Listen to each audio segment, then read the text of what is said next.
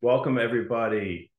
My name is Brian Minick, and I'm very excited to talk with everyone today here for Litmus Live Online. Thank you for joining me. My name is Brian Minick, the Chief Operating Officer at Zero Bounce. Today, we're going to go over how you can block bad emails without being an email marketing expert. And so there's this is going to really help two different types of people, the email marketers, and also if you have a technical team, they're going to love you as well. So let's go ahead and get started and uh, do a few introductions here on, on the presentation today. So once again, my name is Brian Minick. I'm the Chief Operating Officer here at Zero Bounce. Um, I have been in the tech and marketing industry for over 15 years. It's been my entire professional career. Uh, I have started as a software developer, moved into operations, but I've always been touching and part of uh, systems, marketing, email, especially digital marketing in particular. So really excited to talk to you guys today. And I really want to thank you all for joining and being part of the presentation. Uh, a little bit about Zero Bounce. So we are the number one email verifier. I have almost 300,000 people and customers on our platform. Uh, we've broken that 250 mark a little bit ago. Uh, these are just a sampling of some of the largest brands or some of the larger brands. Uh, we have actually much larger brands that we can't share the logos with. Uh, but just a sampling of some of them that we can. And so they're trusted uh, with us using and sending data to us, as well as the accuracy and reliability of our product. So we're very uh, honored to have them, and we've been part of Inc. 5000 quite a few times, as well as some of the fastest growing companies. So let's get into it. Um, how do we block bad emails or leads without being an email marketing expert? So there's really not a big secret when you're talking about uh, the prospects or data that you might have in your list, right? Or how you're acquiring that data. Uh, there's really there's successful ways to clean that stuff up and make sure that the only thing that you're working on, emailing, prospecting, nurturing, are good, valid emails that are deliverable, and I would consider those a marketable contact. So we'll go through it today. I'll show you how to identify this stuff and how to uh, really look like a, a rock star when you get all this bad stuff out of the way. So uh, you know, first, let's just back it up here just a sec. Uh, is email marketing still a good revenue stream? I hear this a lot. I've actually been hearing this my entire professional career. Oh, email's dead. Email's dying. It's going down. They're going other channels. No way. Uh, that's the most respectful way I'll say it. It's not even close. We are seeing email increase use uh, email usage increasing. We are seeing the number of emails being sent increasing and as a result of that, it's actually becoming an even bigger market. Uh, and, and what we've seen as well is more people stepping into the market as as the pandemic hit, uh, because door to door sales went away, and a lot of other types of traditional sales tactics and marketing tactics uh, weren't as good as they were before, and so people resorted to email. What we have seen now is 88% of people are using email every single day. Think about that. That's a huge number. Uh, you can't say that 88% of the people check their mailbox every day. You can't say 88% of people are going to trade shows every year. No way. Uh, email is by far still the best marketing and uh, sales avenue if you're looking to expand your business.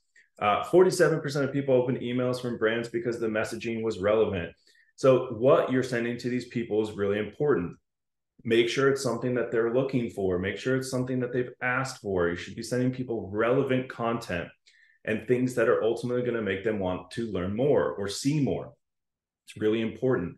Sending irrelevant content to people or telling them you're going to do one thing and doing something very different is going to actually get you in some trouble. Uh, so we'll talk a little bit about that as well.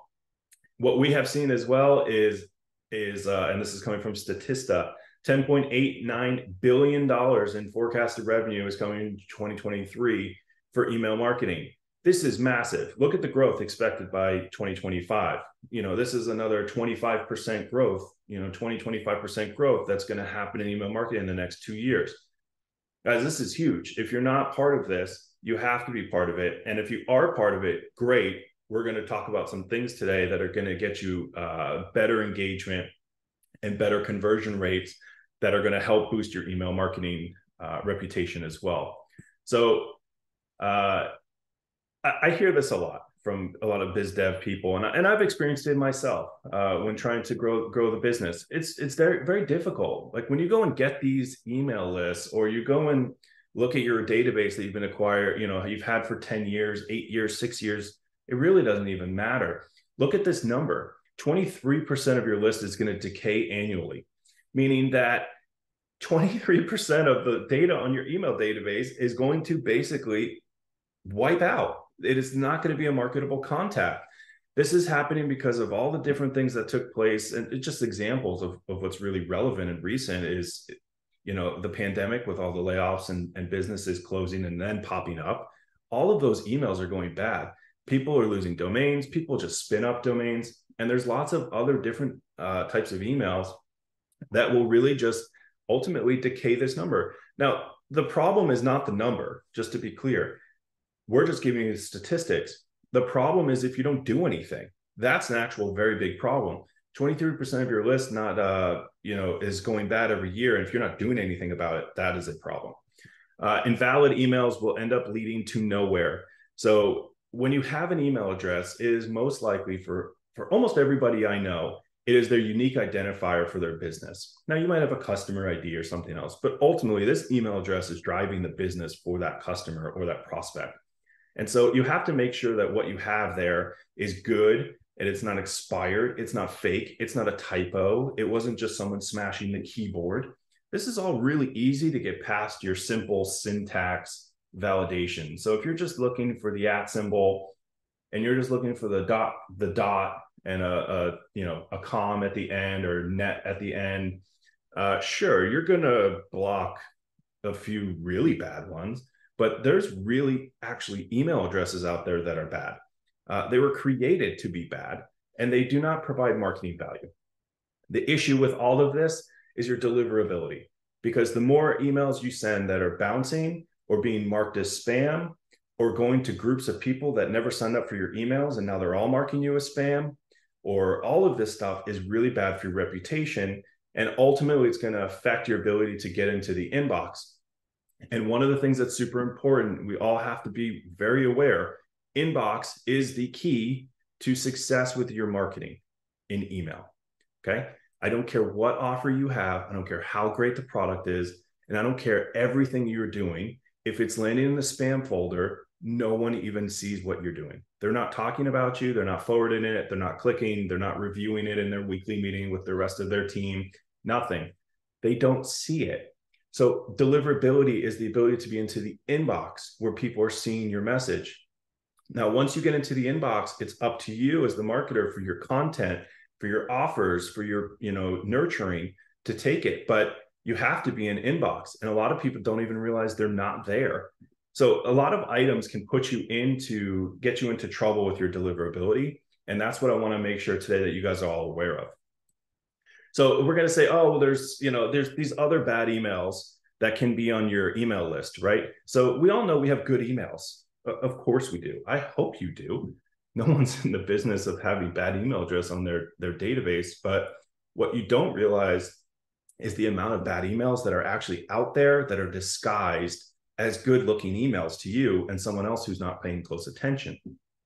There's a different types of emails here, which I'll talk about. There's abuse emails, which is uh, these are people who are known to mark you as spam.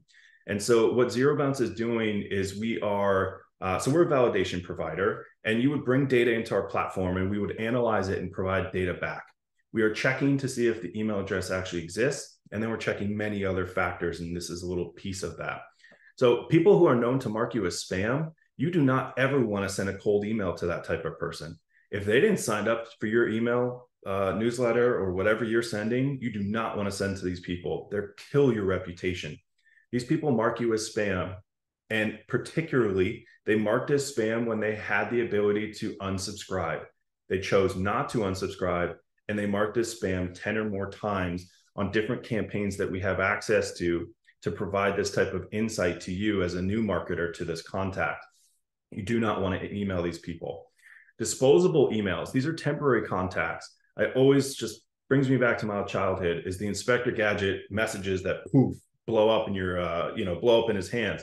These are the same exact things. These emails are disposable. They are literally created to be thrown away within minutes. That is the entire point. There's no registration.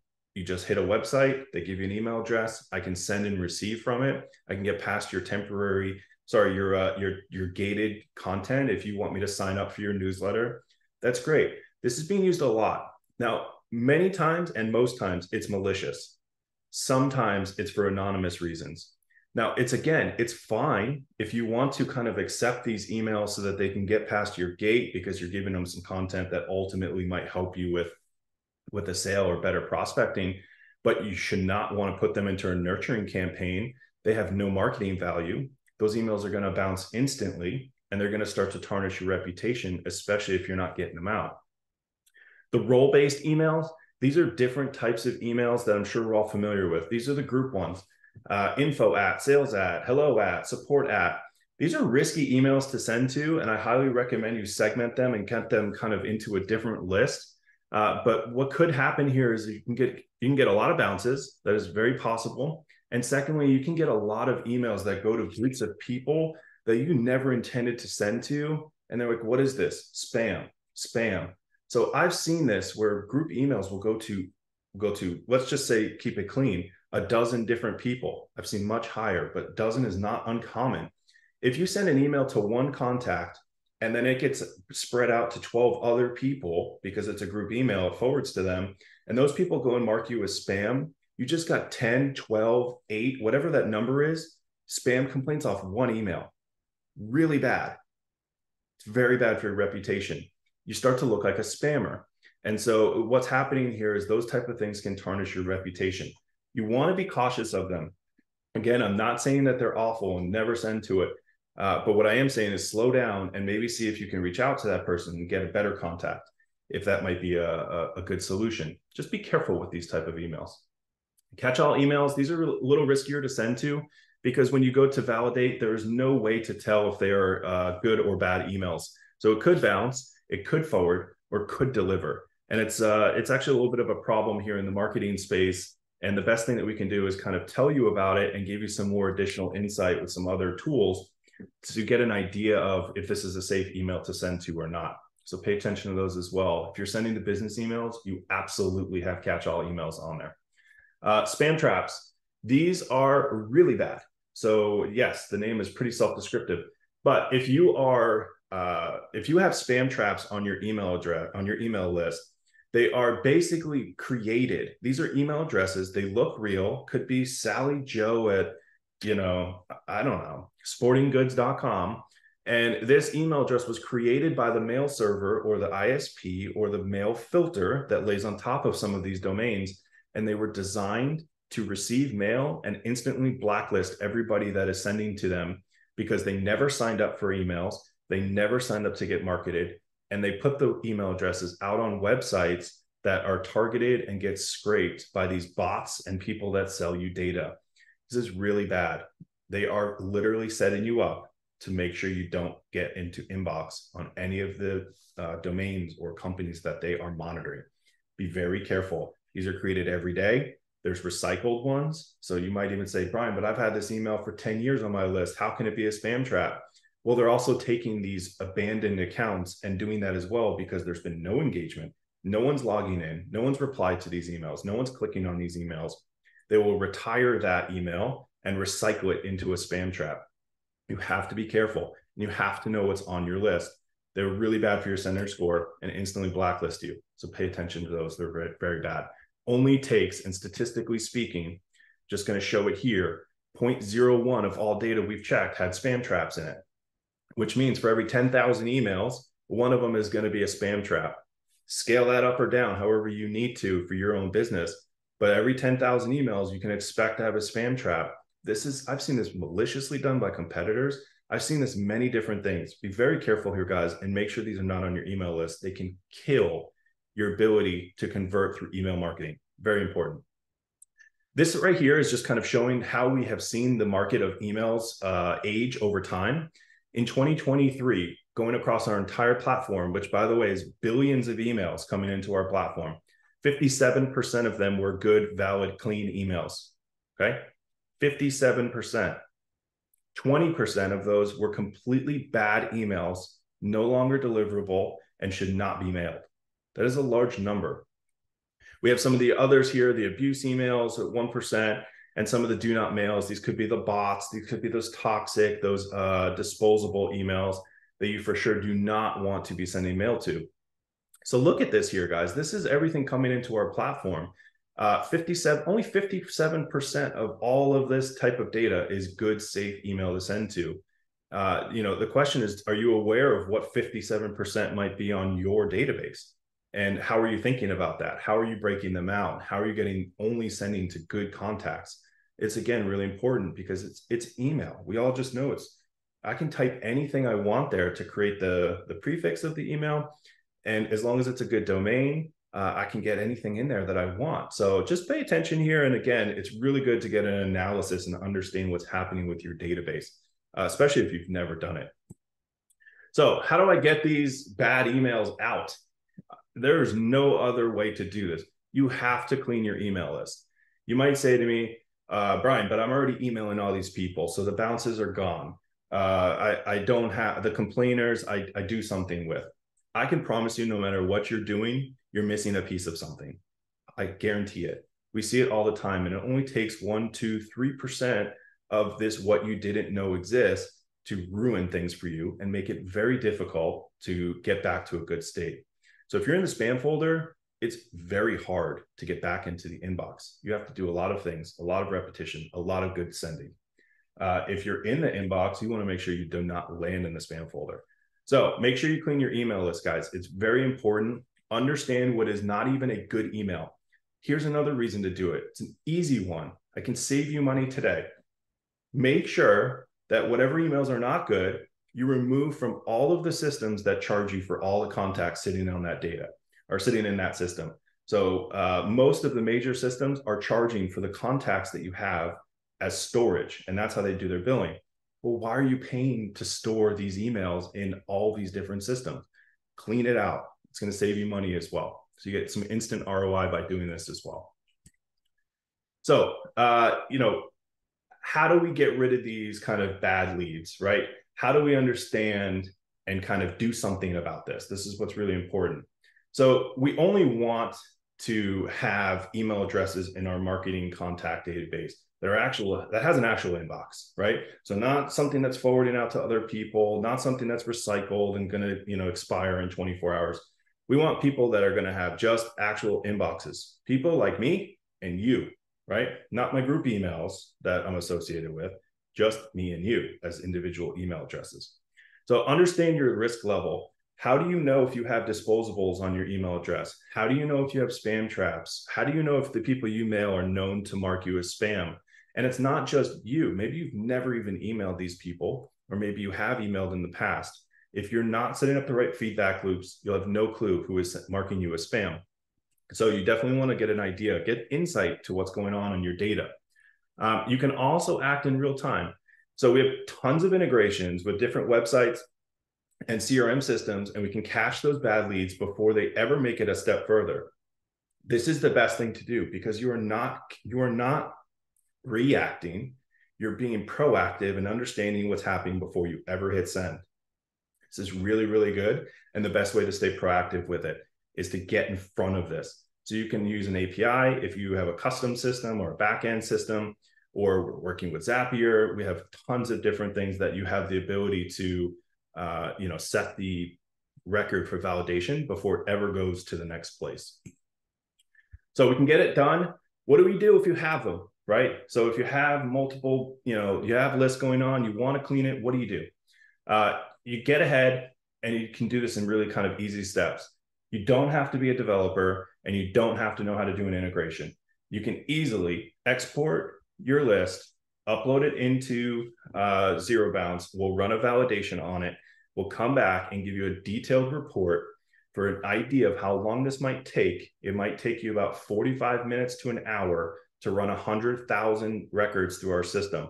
So if you have smaller amounts, it's just going to take less time. If you have more, it might take slightly longer. But the amount of time that it takes and then the results that you get from it are really important we have tons of um, integrations with cloud like S3, uh, Google Drive, all these different things, FTP, SFTP, if you uh, need to take that route. But basically, let us process the data and let us get it back to you in a point where it won't even really mess up your timeline. Uh, long term, you want to get us in front of before you hit send, because then you can make sure before you hit send that you have really good, clean emails. So what you'll get back is a is a really nice clean uh, list that's just going to have valid emails, and we'll provide all of the data on all the other data points that we have uh, for the rest of your email addresses to make sure again you're only sending to good ones. So you can kind of set it and forget it. It's really quick. Upload it, get the results, download it, and put it back, and you're good to go. Uh, if you're a little bit more technical or have people on a technical team that can help you, there's another way to do this, which is going through our API. Uh, this is allowing people to, uh, so wherever you're collecting the data, you can go ahead and put validation on that data point. So you have a contact form and it's, or sign up form, whatever it might be. When someone enters their email address, you can make a real time API call to Zero Bounce. We'll give you the validation status and post it right back. What people are doing is they're blocking the email from the get go. We're catching typos. This is a very, very big piece that's also happening out there. And if you look at your database, you probably have something where someone typoed the, the domain, they fat fingered it on mobile. This is very common stuff. And if you do this in real time, we can actually suggest the fix back to your customer and say, hey, did you mean that you know this was your right email instead? Think about the difference of that marketable contact then versus if you didn't do that and you never validated the data. Then you're going to take it and send a bounced email to a bad email because he typoed it or she typoed it, whatever it might be. So get in front of this stuff if you can. It's super easy to do. It's super lightweight. There's not necessarily coding needed. We have many ways to do this and make it easy for you. And then also in the future, you can go ahead and also get this stuff done automatically. So once you put it on, use it on the API for your, your where you collect the data, then everything after that is nice and clean. That's exactly where you want things to be. You want good, valid emails. Um, so the reason and advantages of cleaning your email list, and you want to do this somewhat on a regular basis, guys. If someone says to you, oh, well, we cleaned this data last year. I already showed you the stats 23% of this data is decaying every year. And it's going to be higher, by the way. If you have business emails, we do a lot of, we're a B2B shop. We're selling to a lot of businesses. We actually turned over 30% of our contacts last year. 30%. That's a huge number. So you might be in a you know a different spot. If you have more consumer-based emails, it might be a tiny bit lower. But still, 15% churn is not something to just ignore. You have to play, you have to do something. Uh, get these guys out. What it's going to do, it's going to give you better deliverability, high bounce rates. Any bounce rate over 2%, by the way, is really bad. That's going to get you into the, that's going to get you labeled as a spammer. Spam complaints. So these are the ones who mark you as spam. 0.1% of that will get you and marked as a spammer. You're in the spam folder. And spam placement is the worst place to be. Period everything you're doing is a waste of your time, a waste of your effort, a waste of your resources. Everything, if it's in the spam folder. A million emails in the spam folder is awful. I would rather have 600,000 in the inbox because I got rid of all this bad data. So make sure you guys do this. It's about quality here, guys, not quantity. You want to have better campaign performance. Well, there's no way you're going to do that if you're sending bad bounced emails to people. And also, there's another piece here. If anyone is purchasing or acquiring data, you're getting, you're buying this list of, you know, I, I don't want to name too many people. There, let's use Litmus 50,000 records of Litmus users. Oh my God, guys, please don't fall for this stuff. That email address and database has been repackaged, relabeled, and sold thousands, if not hundreds of thousands of times. You have to get the bad data out of that. Please do not ever send or don't even purchase this stuff. But if you have it or you ever purchased it and now it's mixed in the shuffle, you have to clean this stuff up. It's really, really bad. And I know conceptually it makes a lot of sense, right? You think like, oh, well, these are all litmus users. This is going to be great. It's not. It's really bad. It's really bad. So uh, get some better insight to your data that you have. Get an understanding of how much churn you're seeing.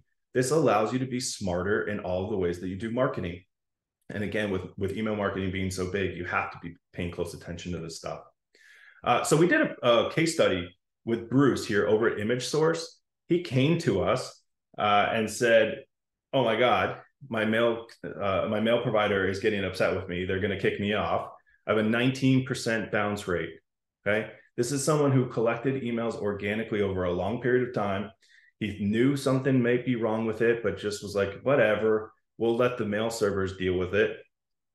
19% of his uh, campaign bounced. Then immediately put him into the spam folder. He had no idea what to do. He came to us. We cleaned up the data. And this is an idea of somebody who collects good emails. This is what happened to him. This was his result. Uh, he had about 100,000 emails in total. 45% was good. 45%. This is a lot of people here that I'm talking to. You're going to be just like this. It's not your fault. You didn't do anything wrong, but you also didn't do anything. So we have to do something here. We have to get these 21,000 emails that were invalid. They have to go. He was emailing them. The mail servers do not like this because how can you have this many bounces if you're a good sender? How? They argue it's not possible. You're a bad sender. So that's what's happening. And you can see, you can get an idea of, you know, again, he had two, two email, uh, two emails on there labeled as spam traps. Now you might say 0% and go, eh, not a big deal. It's really bad. It should be zero. You don't want spam traps on your email on your email database. So make sure those are off. So again, just a good case study of, uh, you know, he came back and was, oh my God, this was amazing. You guys saved me. And he was able to get back into emailing and do his campaigns. So you need to clean your email list if it's been over three months. If you have not touched your email database and clean it in over three months, you need to do it. I would highly recommend you do not ever go longer than six months without cleaning the entire thing.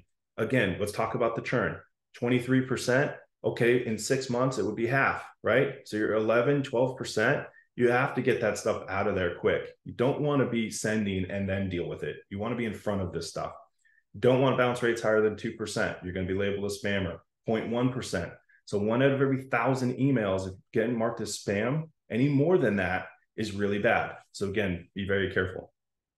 If you're adding new emails all the time and you're not doing real-time verification, you should really pay close attention here and look for real-time verification, especially if you're going to instantly drop them into some sort of funnel that's going to mail them. Uh, just put a step in place that checks to make sure that these are good emails before you go and send to them. Uh, so a couple of other things. There's more stuff to. There's more ways to look at the email address that you have uh, and try to see if you can find some stuff. So we've had people that come to us and they're like, hey, we've never emailed these. We have no idea. We want to start with good reputation. What do we do? Well, what we can do is we can append uh, a feature that we have called activity data, which has uh, information based on the last known activity. If they've opened, clicked, forwarded, unsubscribed, or used that email address in a mobile app login, if you append that data with your valids, so they're valid and have recent known activity, and send that, it will immediately start to boost your reputation because your open rate is going to look very good. And hopefully your click through rate is going to look good as well, depending upon what you're sending. If you're also looking for people, uh, this is kind of something else that we've started to go down based on all the feedback and all of the people in marketing who are trying to find maybe a new email for somebody. But if you give us the name, you know, first and last name of somebody and a, a business where they're working at, we're actually going to go and run through our algorithms and look to find the good, valid email that you can use to send email to. So this would make sure that you're not sending to a bad contact or you're guessing what their email address might be. And then you want to monitor your reputation. Every single person has a sender score. If you send email, you have a sender score. You have to keep an eye on it and you have to know what's going on. And if it goes bad, you have to do something to improve it or you have to start over, is actually what, what a lot of people don't even realize. You have to start over, new domain, new email address, and go ahead and push everything through and start and build over from scratch. Again, it's just very difficult to deal with. Um, so what, what I wanted to do today is also just give, give everybody here the opportunity to get an idea of what might be on their database. We're going to do a thousand validations for free for anyone that's looking to uh, maybe sample their database and get an idea of what might be there on your list. You can go ahead and reach out to our support team and support at zerobounce.net or on our live chat system. Tell them you came from Litmus, and they'll throw a thousand credits on your account. So you can go ahead and get uh, started and get a sample and get an idea of statistically what your data is going to look like. Uh, the cost to do this stuff is very low, by the way. So if it's like, oh no, not another one, I promise the ROI is instant if you are paying to save that data anyway. So again, I just really want to thank everyone today for joining with me. And thank you for uh, being part of Litmus Live. I know that we uh, we all really appreciate everything. I really want to thank them for having me here today. And for everyone, I hope you have a great rest of your day. And thanks again for watching.